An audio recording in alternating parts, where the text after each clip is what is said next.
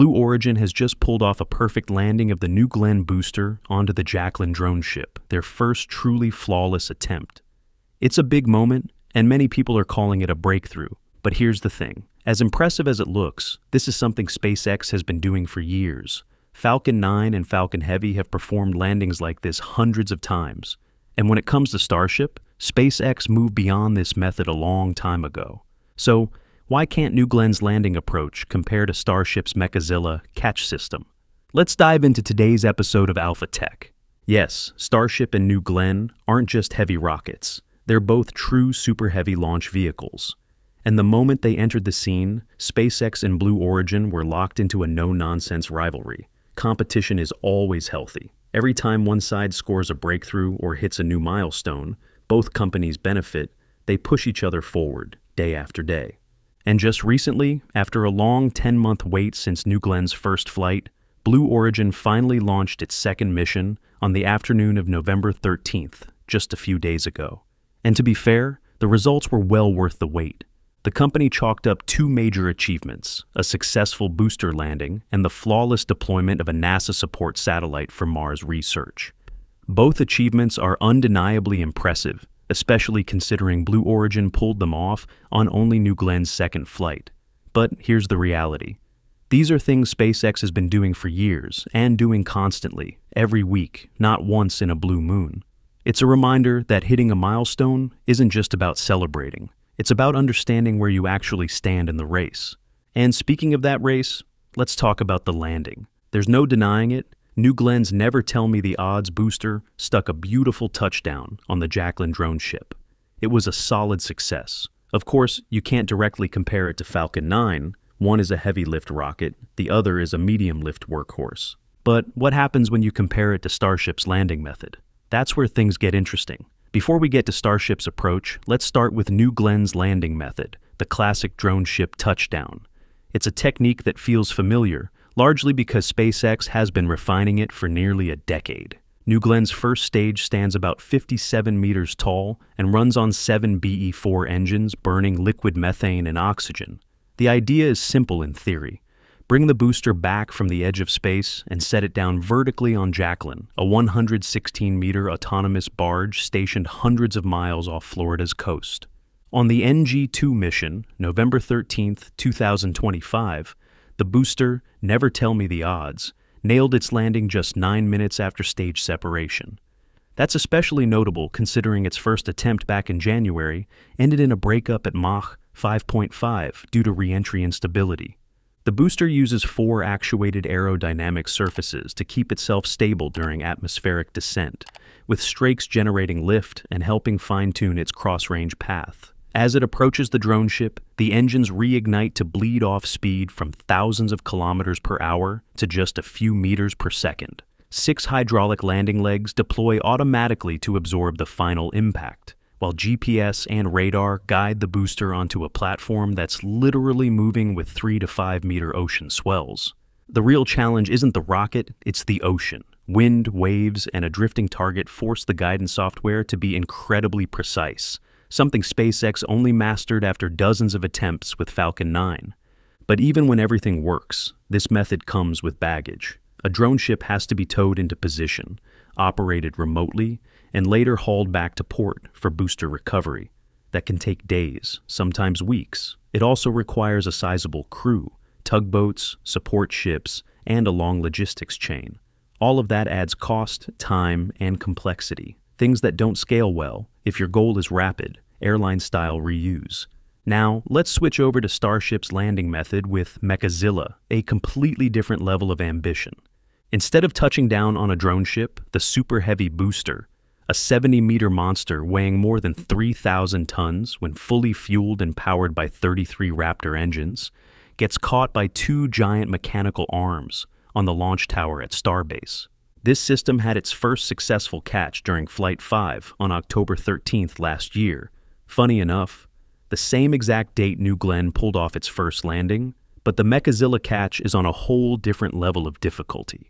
Right after hot staging at about 70 kilometers up, the booster fires a cluster of 13 Raptors to start bleeding off speed. Then it transitions to just the three center engines, hovering precisely over the tower while those massive chopstick arms, each weighing hundreds of tons, close in. Using hydraulic actuators and laser sensors, the arms grab onto the load points under the grid fins. And all of this happens in around seven minutes from separation to catch. The required precision, less than a meter, with the booster dropping in at roughly 5 to 10 meters per second. The Mechazilla Tower itself is a 145 meter steel giant. Thanks to its sheer mass and built in shock absorption, it can handle the enormous forces involved. On top of that, SpaceX uses real time trajectory prediction software, basically an AI guidance system, to adjust the tower's position just enough to meet the booster midair. The challenge here is completely different from a drone ship landing. A ship can drift and correct itself at sea. A fixed tower can't move much at all.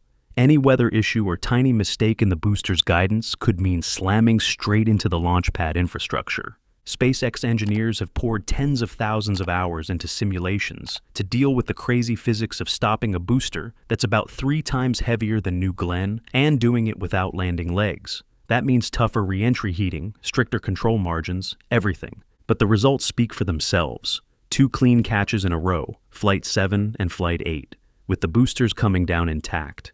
And if things stay on track, SpaceX expects to start catching the Starship upper stage next year. But why, despite being so risky and complicated, is this approach still so much more impressive, especially for a heavy lift rocket? First, nobody else on Earth has ever pulled this off. SpaceX is the only company that has actually caught a booster with tower arms. China is trying to copy the idea, but their progress is still pretty unclear. Second, in terms of difficulty, a drone ship landing, like what New Glenn just did, is simply a much easier problem. The ship can drift and reposition over a wide area, which gives the booster more room for error. On top of that, New Glenn's booster is smaller and lighter, so the guidance system doesn't have to fight nearly as much momentum. A lot of experts compare it like this. Landing on a drone ship is catching a fish with a big net, while Mechazilla is catching a falling knife with your bare hands. One has a wide margin, the other basically has none. The tower demands an order of magnitude more precision because it's fixed on land. If the booster misses by even a meter or two, it's game over for the entire launch site. As Elon Musk said on X, shock absorption is built into tower arms. Since tower is groundside, it can use a lot more mass to arrest booster downward momentum. And that's where things get even harder. Stopping a multi-thousand ton booster without landing legs means dealing with crazy vibration modes, resonance, and sideways shear forces that can reach into the millions of newtons. If engineers can't master challenges at this level, don't even think about aiming for Mars. But the real magic of Mechazilla isn't just the difficulty, it's the efficiency it unlocks for a heavy lift rocket. With this system, rapid reuse becomes a real possibility. Imagine this.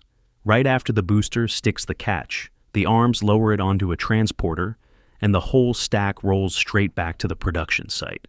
In just a few hours, engineers can start inspections and prep work. With New Glenn, it's the opposite.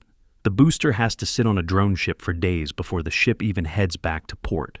That round trip alone slows everything down, which is why Blue Origin admitted in its FAA filings that the initial launch cadence will be only one or two flights per month. Starship is aiming for something radically different three to five flights per week. If SpaceX gets there, the cost could drop to around $100 per kilogram to orbit. That's an order of magnitude cheaper than New Glenn's, projected 1,000 to $2,000 per kilogram, even with reuse. And at that price point, suddenly big missions like Artemis or long-term Mars supply runs become realistic because they need hundreds of flights, not a handful. And there's one last thing that pushes Mechazilla into its own category scalability. The tower isn't just designed to catch the booster. In the future, it can catch the upper stage too, making Starship a fully reusable launch system. New Glenn still discards its upper stage every time, which means it can never escape the economics of partial reuse. This is the leap from reusable rockets to industrial reuse.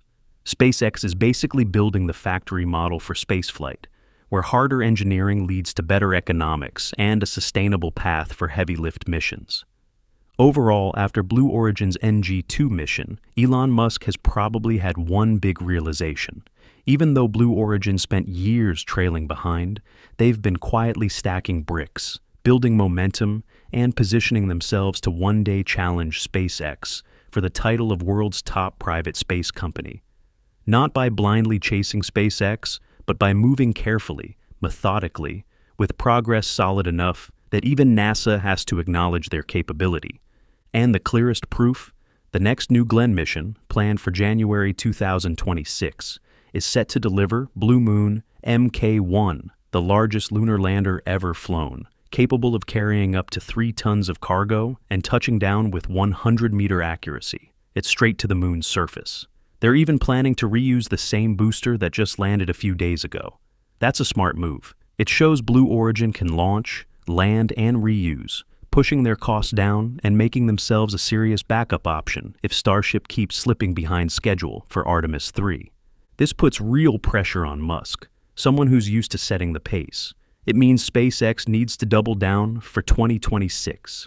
And that's exactly what they're doing. Starship V3 is on the way, about 1.5 meters taller than V2, powered by ultra efficient Raptor 3 engines, and targeting its first orbital flight as early as January 2026. The top priority is the big one catching the upper stage with Mechazilla, the milestone that would make Starship fully reusable and capable of flying hundreds of missions a year. Next up is pushing the HLS forward to outmatch Blue Moon MK 1, orbital refueling demos, ship to ship propellant transfer, and a long duration mission proving Starship can rendezvous with NASA's Orion. All of that is required to land 100 tons on the moon.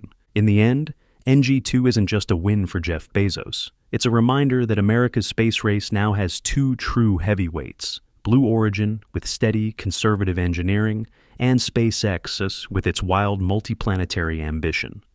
2026 will decide who's actually leading, but either way, humanity wins because the moon and Mars have never felt closer.